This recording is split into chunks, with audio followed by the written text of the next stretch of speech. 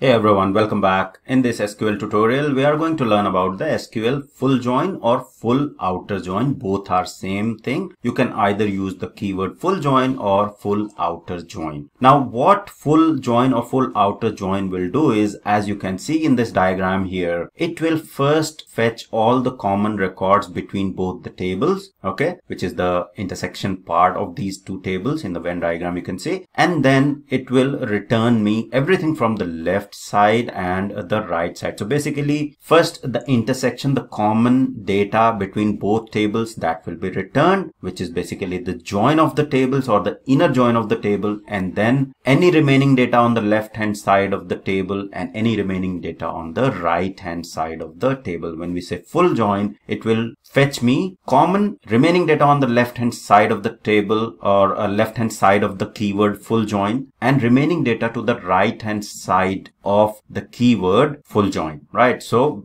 whichever tables you are using, then it will fetch all of those records that are remaining in both the tables that are to the left hand side of full join or to the right hand side of the full join. Now MySQL does not support full join or full outer join. So we need to work with the workaround, right? Now in terms of keyword or in terms of the command, it's very simple. We just need to replace inner join with full outer join or full join, right? So we can say select whatever fields from table and then full join or full outer join connect on the table uh, on a specific key, right? So let's go and understand how we are going to replicate full join in MySQL. All right. So here, this was the right join or right outer join that we saw. Now, if I have to do full join, right? So the only change we have to do in our command now, because I'm using MySQL, it will throw an error, but usually the only change you have to do is you just have to replace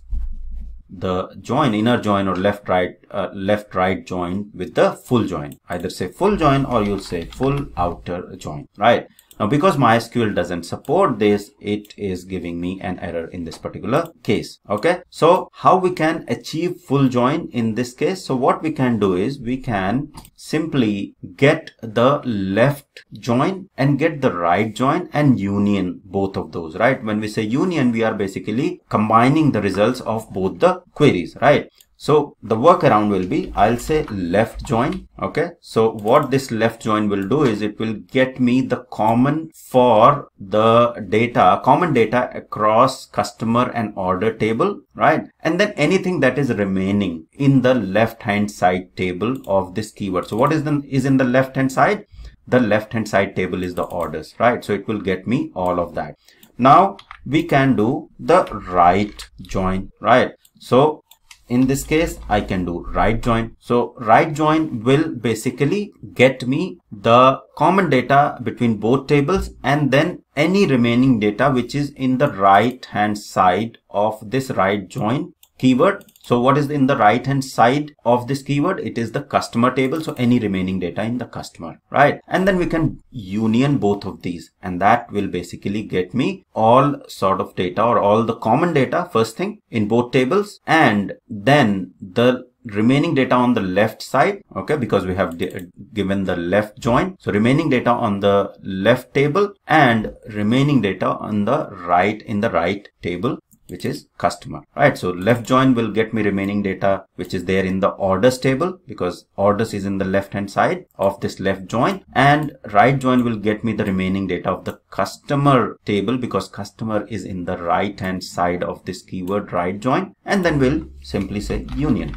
All right. Now when we use union, we simply have to remove this semicolon there because now this is the end of this statement right? So we are doing first we are doing the left join on both the tables. Then we are doing the right join to get any remaining record in the right hand side of this right join keyword table. And then we are doing the union okay? So if i run this it will return me the full join or full outer join results as you will get in the other databases wherever it is supported right? So you will see first records are the inner join which have been written and then we had done the left join, right? So in this case, what was the table that was left to the left join keyword? The order. So order data has been written, right? Whatever was remaining. And then we did the right join. What is the table that is to the right of this right join keyword? is the customer table, right? So when we say right and left, it is against this keyword. What is right? So against this keyword is customer. Uh, the right is customer. Against this keyword, the left is orders, right? So this has returned me the details that were remaining in the customer table. And then we did union and that has returned me the full data or full union of both of these results. So this is what you will get with the full join in other databases wherever full join or full outer join is supported. But in MySQL, this is the workaround for the full join or full outer join that you can use. I wanted to explain the concept of full join. That is important in terms of workaround and how you are going to use. It is pretty simple. You will definitely be able to find the solution about MySQL using the union and wherever it is supported, you don't need to worry about, right? So if I open this page here, so full join, you will see the full part. So the first the intersection, the common part, then anything remaining in the left hand side table will be returned and anything remaining to the right hand side of the table will be returned. Okay. So that is what full join or full outer join both are same will do for you. I hope this was helpful. Thank you very much for watching.